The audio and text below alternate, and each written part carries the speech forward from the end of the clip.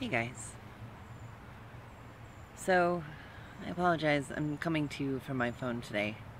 My computer's in the shop, so there's not going to be any editing or anything like that. So this may be a, a little rough, but I wanted to come on here and talk about a couple things that have been on my mind this past week. Um, a couple days ago, I turned 30, which is weird. I'm old. I feel old. Um, I realize 30 isn't that old, so I'm not I'm not really tripping about it. But it did get me thinking a lot about where I was 10 years ago and where I am today. And not just where I am, but like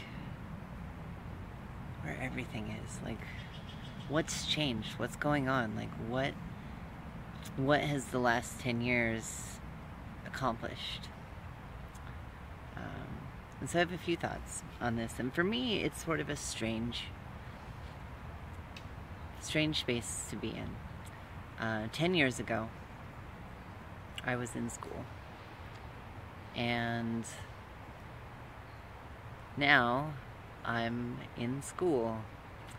So, so like when you when you compare like day to day what I'm doing, going to school full time, you know, hoping that it pays off at some point. I I get to have a, a career focused on things I want. Like a lot of those things are the same as they were 10 years ago and I'm like, "Oh my gosh, have I have I really not accomplished anything?"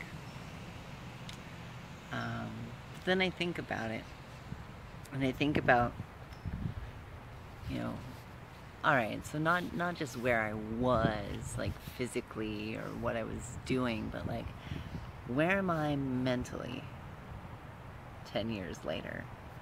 And I think back um, to me at 20, which was, um, I transitioned a month after I turned 20.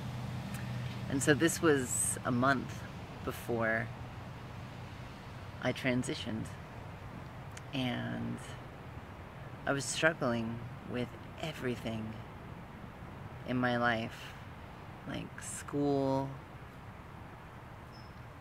friends, just living. I was like coping through all of the the shit with a lot of drugs um, it was like the only way I knew how to like handle any of the stuff that was going on.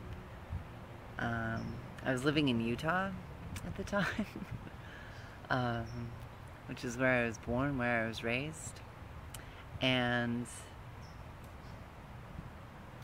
the last 10 years brought a lot of change to that. So, like I said, a month after I turned 20, I transitioned and started living as Erin. Um, I lived in Utah for about nine months doing that and experienced some of the worst um, prejudice that I've ever experienced in my whole life there. Um, it was paralyzing, is what it was. Um, I would hide, I hid constantly. Um, I wouldn't go out during the day unless I had to. Um, I couldn't find anyone like me to relate to. I tried. Um, the only people I could find were, you know, 40 years older than me and were cross-dressers. They weren't trans. Um, at least not the same way that I am. Um, I thought about killing myself a lot. And I'm really glad that I didn't. Because, I mean, obviously. Um, but about nine months of that was about all I could take. And I needed to get out, and I moved. I moved to New York City. I sold everything. Everything I had, I sold, and I had I whittled all all my possessions down to three suitcases, and took off for New York it was crazy. I, I can't imagine doing that now. I can't imagine selling everything I have and just moving and hoping it works out. But I was so desperate.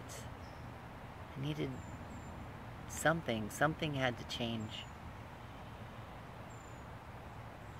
I spent five years in New York and I loved it there. I met Morgan, I met my wife. Um, I did drop out of school because I couldn't afford it anymore. But I started a career and I worked really hard. Um, I was able to, you know, expand that, and eventually, when I moved here, I got to actually work with the trans community. Um, not just online, but like in a like day-to-day sort of basis, and it was very. It was exactly what I wanted to do. Like that's my passion. So, you know, here I am. Ten years later, I'm in the same place, but I'm not in the same space. I'm in a different space. Um, and so that that's sort of interesting. Um, but I just wanted to come on and share for a minute about sort of what I've been thinking about. And um, you know, I'm going to be on soon also to talk about like what are some of the larger changes I've seen happen over the last 10 years. So stay tuned for part two. That's going to come later. So I'll see you guys.